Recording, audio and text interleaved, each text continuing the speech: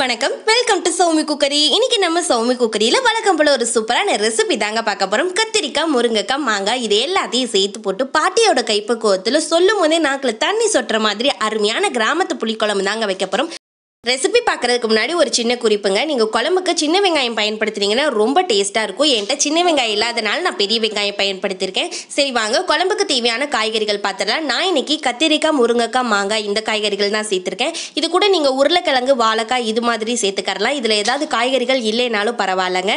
நான் மாங்காய் சேர்த்துக்கிறனால கொஞ்சமாக புளி ஊற வச்சு எடுத்துக்கிறேங்க. நீங்கள் மாங்காய் சேர்த்துக்கறலன்னா நம்ம எப்போவும் புளிக்குழம்புக்கு ஊற வைக்கிற மாதிரி ஒரு பெரிய லெமன் சைஸுக்கு புளியை ஊற வச்சு புளி தண்ணி எடுத்துக்கரலாம் இப்போ ஒரு மிக்ஸி ஜாரில் ரெண்டு தேங்காய் சின்ன சின்ன பற்களாக கட் பண்ணி எடுத்துக்கரலாங்க கூடவே ஒரு மீடியம் சைஸ் வெங்காயம் ஒரு பழுத்த தக்காளி பழம் சேர்த்து கொஞ்சமாக தண்ணி ஊற்றி ஒரு பேஸ்ட் பதத்துக்கு அரைச்சி எடுத்துகிட்டு வந்துடலாம் இப்போ ஒரு பாத்திரத்தில் ரெண்டுலேருந்து மூணு டேபிள் ஸ்பூன் அளவுக்கு நல்லெண்ணெய் சேர்த்துக்கலாங்க. நல்லெண்ணெயில் செய்யும் போது ரொம்ப ரொம்ப டேஸ்ட்டாக இருக்கும். கூடவே ஒரு ஸ்பூன் அளவுக்கு வெந்தயம் சேர்த்துக்கலாம். வெந்தயம் நல்லா பொரிஞ்சதுக்கு அப்புறமா நறுக்கி வச்சிருக்க வெங்காயம் சேர்த்து நல்லா வதக்கிக்கலாங்க. வெங்காயம் நல்லா பொன்னிறமாக வறுபடணும். வெந்தயம் சேர்த்துக்கும் போது ரொம்ப ரொம்ப குளிர்ச்சியை கொடுக்குங்க. மறக்காம காரக்குழம்பு புளிக்குழம்புலாம் இந்த வெயில் காலத்தில் வெந்தயம் நிறைய சேர்த்துக்கோங்க. வெங்காயம் நல்லா வதங்கினதுக்கு அப்புறமா தக்காளி சேர்த்துக்கலாங்க. வெங்காயம் தக்காளி எல்லாம் நல்லா வதங்கினதுக்கு அப்புறமா மிக்சியில் அரைச்சி வச்சிருக்க பேஸ்ட் இது கூட சேர்த்து நல்லா வதக்கி விட்டுக்கலாம்.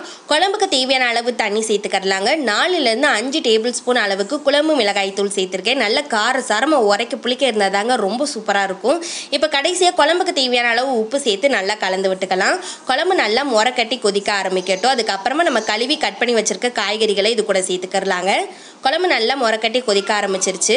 நம்ம காய்கறிகள்லாம் சேர்த்துக்கரலாம் முன்னாடியே மாங்காய் சேர்த்துடக்கூடாது நான் கத்திரிக்காய் முருங்கைக்காய் மட்டும்தாங்க சேர்த்துருக்கேன்.